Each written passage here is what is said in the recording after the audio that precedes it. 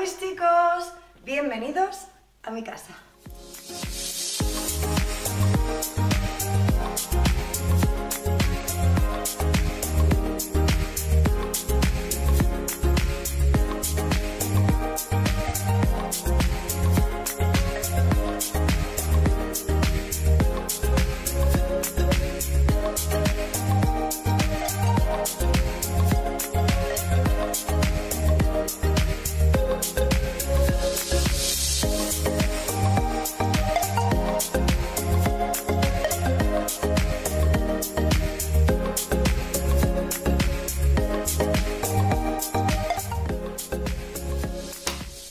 Pues vamos a empezar por el final, por el final de este tour, por el dormitorio. ¿Por qué? Porque lo que más me gusta es el salón y la cocina y lo quiero dejar para el final.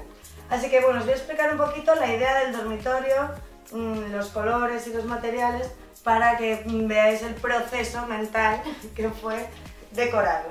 Como veis ya la habitación de por sí está en blanco marrón, que tiene un montón de madera por todas partes que me encanta, y gris, como veis esta pared del fondo está pintada en gris y entonces hemos ido eligiendo los muebles en función de esa gama cromática y hasta la ropa de cama, que como veis también está toda en blanco, gris y beige. Pusimos las mesillas de madera, aunque decir que esta la veo demasiado oscura, ya la teníamos en la otra casa y creo que la voy a cambiar, pero bueno, de momento está así. La otra me encanta, como queda con el cabecero de madera decapada y con la lámpara así como industrial. Y otra de las curiosidades de mi casa es esto de aquí, que es el baño integrado dentro del dormitorio que a todo el mundo que viene le sorprende, y yo fui la primera sorprendida cuando vine a ver el piso, y al principio como que parece un poco raro o que puede, mm, no sé, haber problemas de humedad en la habitación, bueno, que empezar en Madrid no tenemos problemas de humedad, más bien lo contrario,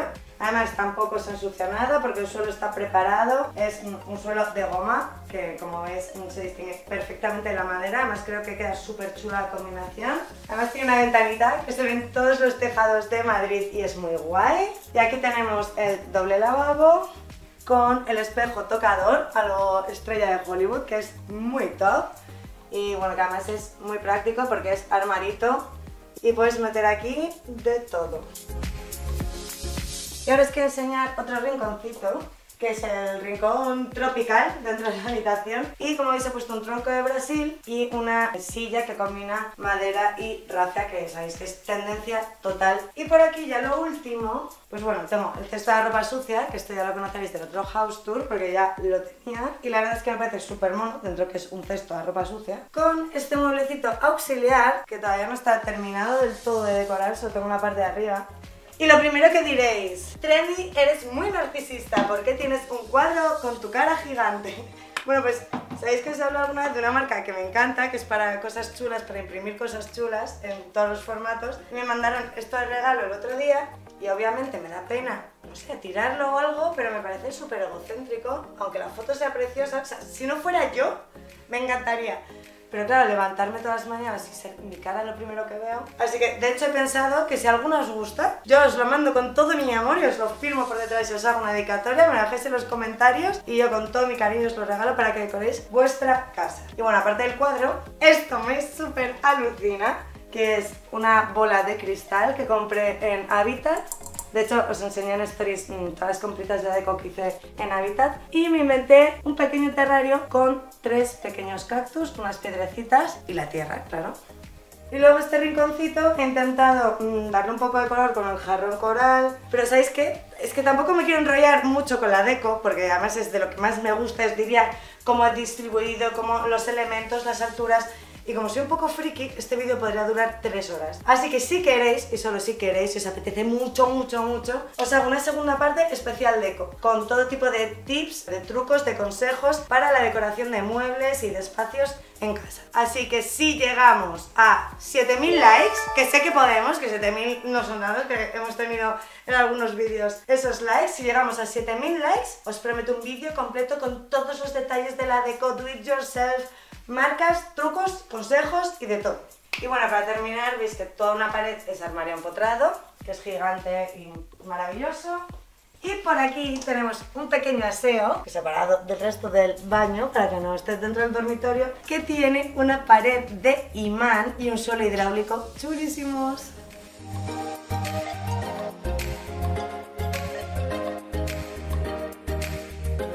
Seguimos por esta puerta y nos encontramos, que veis que es como una pequeña habitación contigua, con mi vestidor. La verdad es que como es una habitación muy irregular, en su momento me costó mucho con los planos y todo idear el vestidor. Intenté adaptar además todo lo que tenía en la otra casa para intentar pues no tener que comprar todo nuevo y aprovechar al máximo cada rincón. Y bueno, si queréis, también si llegamos a los 7000 likes, os hago un vídeo solo del vestidor, de cómo lo he organizado y, bueno, cómo lo distribuí en su momento para aprovechar al máximo cada rinconcito. Y ahora si me acompañáis os voy a enseñar el baño de invitados por si algún día lo necesitáis.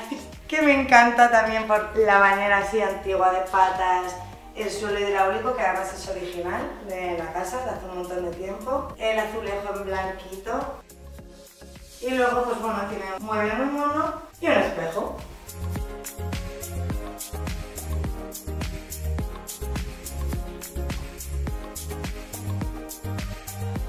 Y ahora sí que sí, llegamos a mi parte favorita de la casa. Bueno, un pequeño armario en el pasillo, no tiene mucho interés. Esa no es mi parte favorita de la casa. Mi parte favorita de la casa es esta. Es una estancia súper, súper amplia, con los techos muy altos. Ya tenemos una cocina americana, como veis, con una barra y con cocina de gas, que yo soy muy cocinillas y me parece muy pro tener una cocina de gas. Luego, como veis, allí tiene el grifo, la nevera, que además la gente que viene me deja notitas aquí y me encanta. Y bueno, electrodomésticos, cajones, gran expreso, que me da la vida cada mañana. Es mi item favorito. Bueno, por aquí no tiene mucho interés y no es nada cool. Pero hay una despensa donde tengo pues mmm, todas las cosas de comer, de limpieza, la lavadora, y ahora os voy a enseñar el comedor, aunque si os digo la verdad, como tenemos la barra esta en la cocina, casi nunca lo utilizamos, solo cuando viene gente a cenar. Estas sillas son nuevas, que mm, si habéis visto los otros house tours veréis que antes tenía el comedor de otra manera. La mesa la lijamos y barnizamos nosotros mismos y luego aproveché las sillas industriales que tenía y las he combinado con estas que compré en Habitat que son como de mm, piel blancas y madera. Y ahora os voy a enseñar pues, la zona de mi casa donde más tiempo paso, que es la zona de estar, que es este trocito de aquí del salón, que como veis estoy preparada para recibir a un montón de gente y os he dicho muchas veces que me encanta ser anfitriona y que venga todo el mundo a verme y tener la casa llena de gente, entonces necesito muchas sillas y muchos sillones. De hecho, muchas veces cojo los cojines, los pongo por la alfombra, que mirad la alfombra es nueva también. Es un killing, que sabéis que se lleva un montón ahora. El sofá, que es nuevo, recién estrenado, es de Habitat también y como veis he combinado el gris con algunos cojines que van guay con la alfombra.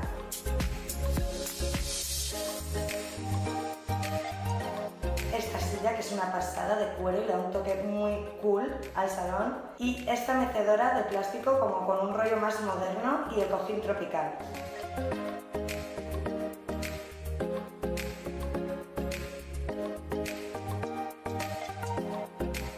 Tele con el mueble industrial. El cartelito de Exit, este, en realidad lo tengo pendiente de colgar en la pared de ladrillo. Pero la verdad es que lo apoyé en el suelo, en plan, ahora me da pereza coger el taladro y no creáis que mm, me disgusta, igual se queda ahí. Bueno, el monopatí que mm, anda por toda la casa siempre. Y esta puerta que todo el mundo que viene a casa me dice, ¿por qué tienes una puerta apoyada en la pared? Pues no lo sé. Pero el caso es que fui a un sitio de muebles así antiguos y tal, y la lijé y la pinté porque me molaba con el platanero.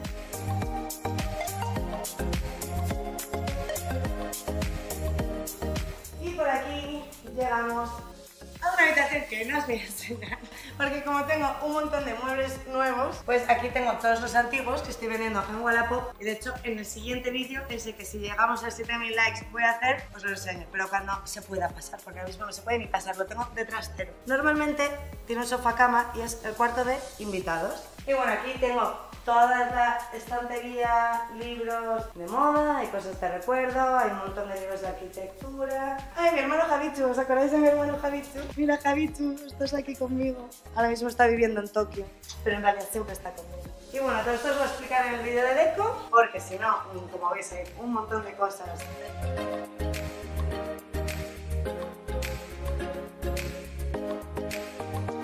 Que tengo algunas cositas de las que compré en Primark que os enseñé en el último haul.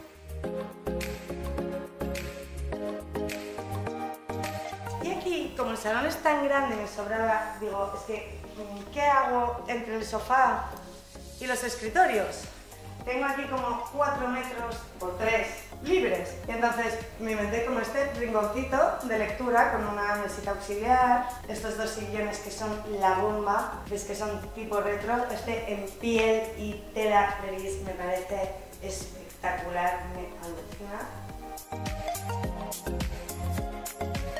Y luego este cuadro que me va a hacer más ilusión porque es un regalo de mi amiga Yosune, que es una artista como la copa de un pino y vino a exponer sus obras a Madrid el otro día, se quedó conmigo en casa y me trajo este pedazo de cuadro que encima, qué casualidad, mirad cómo me queda con el sofá, porque ella no había venido todavía a la casa nueva y resulta que casualidades de la vida me combina perfecto con el rincón de lectura.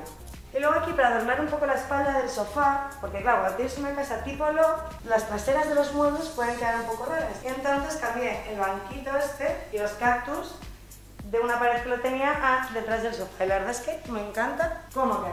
Y para terminar he dejado para mí, sí que sí, lo más especial de mi casa, que son los techos son una maravilla. De hecho, en el otro vídeo muchos me preguntasteis si me había ido a vivir un pueblo. Nada más lejos, vivo en el centro de Madrid, en el puro centro de Madrid. Y este techo lleno de vigas de madera, y con el tejado en pico, el punto más alto de hecho son 7 metros. Es una maravilla. La verdad es que mogollón de veces me tiro en el sofá o en el suelo solo para mirar al techo y escuchar música porque me relaja un montón. Pero cuando llueve es maravilloso porque esto es como una cabaña en la montaña, pero en el centro de Madrid. Así que bueno, ahora sí que sí, mis chicos, esto es todo, esto es toda mi casa. Como veis, todavía me faltan algunos detallitos por pulir. Recordad, dadme muchos likes si queréis el vídeo de deco y del vestidor y suscribíos al canal, suscribíos, suscribíos para ver el próximo vídeo. Os deseo una semana muy feliz desde mi hogar.